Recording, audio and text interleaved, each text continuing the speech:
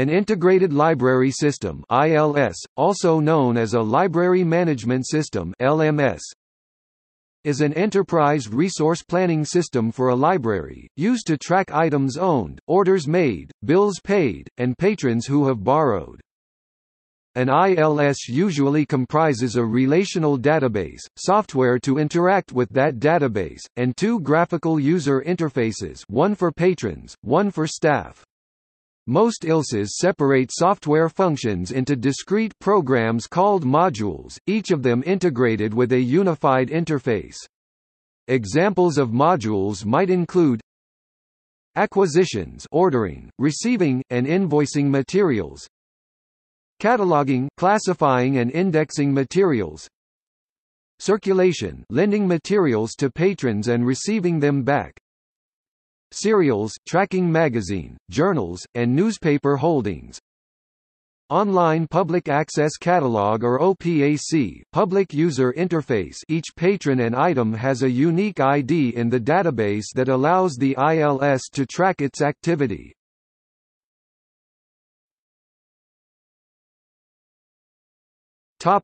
History.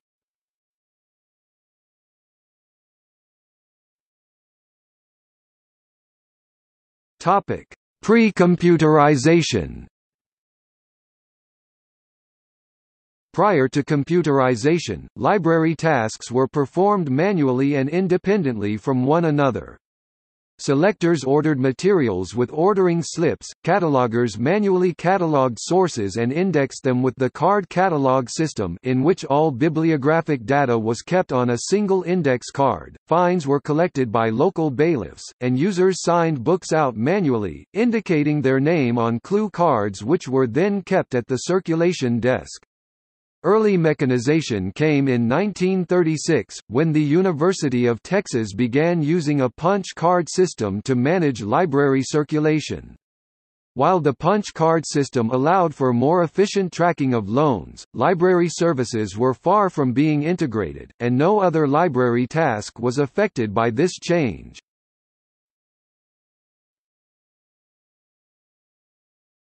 Topic: 1960s, the influence of computer technologies The next big innovation came with the advent of MARC standards in the 1960s, which coincided with the growth of computer technologies, library automation was born. From this point onwards, libraries began experimenting with computers, and, starting in the late 1960s and continuing into the 1970s, bibliographic services utilizing new online technology and the shared MARC vocabulary entered the market. These included OCLC 1967, Research Libraries Group, which has since merged with OCLC, and the Washington Library Network which became Western Library Network and is also now part of OCLC.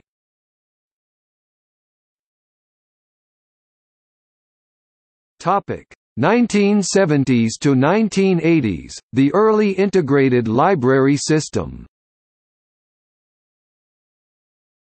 The 1970s can be characterized by improvements in computer storage, as well as in telecommunications. As a result of these advances, turnkey systems on microcomputers, known more commonly as Integrated Library Systems (ILS), finally appeared. These systems included necessary hardware and software which allowed the connection of major circulation tasks, including circulation control and overdue notices. As the technology developed, other library tasks could be accomplished through ILS as well, including acquisition, cataloging, reservation of titles, and monitoring of serials.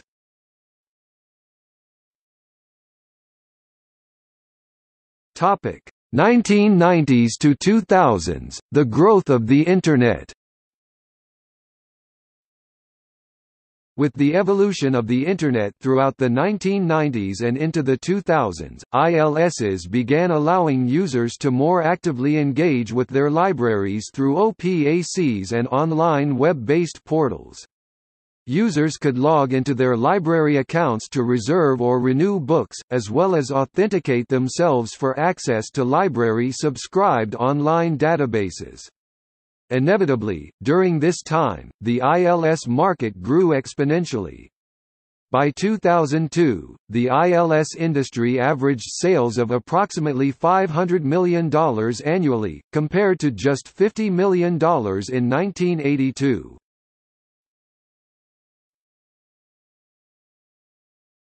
Topic: Mid-2000s present, increasing costs and customer dissatisfaction. By the mid to late 2000s, ILS vendors had increased not only the number of services offered but also their prices, leading to some dissatisfaction among many smaller libraries. At the same time, open-source ILS was in its early stages of testing. Some libraries began turning to such open-source ILSs as Koha and Evergreen. Common reasons noted were to avoid vendor lock-in, avoid license fees, and participate in software development. Freedom from vendors also allowed libraries to prioritize needs according to urgency, as opposed to what their vendor can offer. Libraries which have moved to open-source ILS have found that vendors are now more likely to provide quality service in order to continue a partnership since they no longer have the power of owning the ILS software and tying down libraries to strict contracts. This has been the case with the SCLENDS consortium. Following the success of Evergreen for the Georgia Pines Library Consortium, the South Carolina State Library along with some local public libraries formed the SCLENDS Consortium in order to share resources and to take advantage of the open-source nature of the Evergreen ILS to meet their specific needs. By October 2011, just two years after SCLENDS began operations, 13 public library systems across 15 counties had already joined the consortium, in addition to the South Carolina State Library. LibraryTechnology.org does an annual survey of over 2,400 libraries and noted in 2008 2% of those surveyed used open source ILS, in 2009 the number increased to 8%, in 2010 12%, and in 2011 11% of the libraries polled had adopted open source ILSs. The following year's survey published in April 2013 reported an increase to 14%, stating that open-source ILS products, including Evergreen and Koha, continue to represent a significant portion of industry activity. Of the 794 contracts reported in the public and academic arena, 113, or 14%, were for support services for these open-source systems.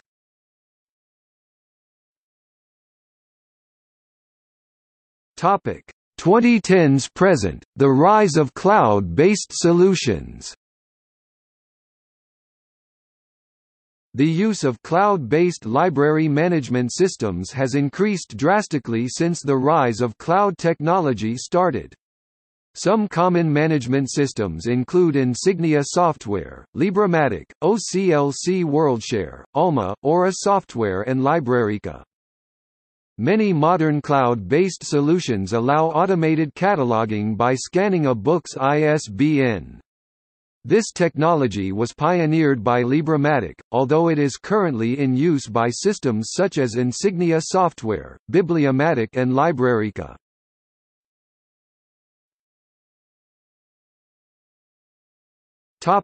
Software criteria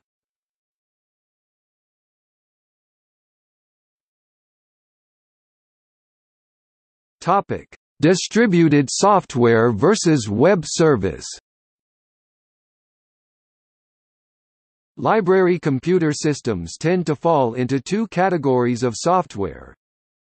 That purchased on a perpetual license, that purchased as a subscription service, with distributed software the customer can choose to self-install or to have the system installed by the vendor on their own hardware. The customer can be responsible for the operation and maintenance of the application and the data, or the customer can choose to be supported by the vendor with an annual maintenance contract. Some vendors charge for upgrades to the software. customers who subscribe to a web-hosted service upload data to the vendor's remote server through the Internet and may pay a periodic fee to access their data.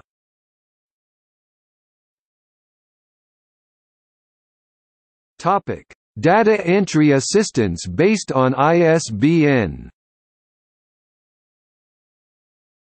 Many applications can reduce a major portion of manual data entry by populating data fields based upon the entered ISBN using MARC standards technology via the Internet.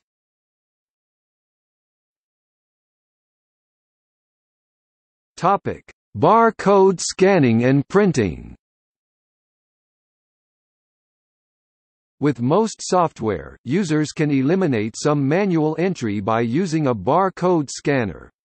Some software is designed, or can be extended with an additional module, to integrate scanner functionality.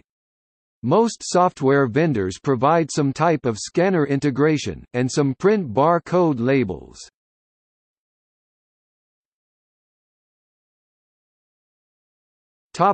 See also List of next-generation library catalogs. Database management system. Public library ratings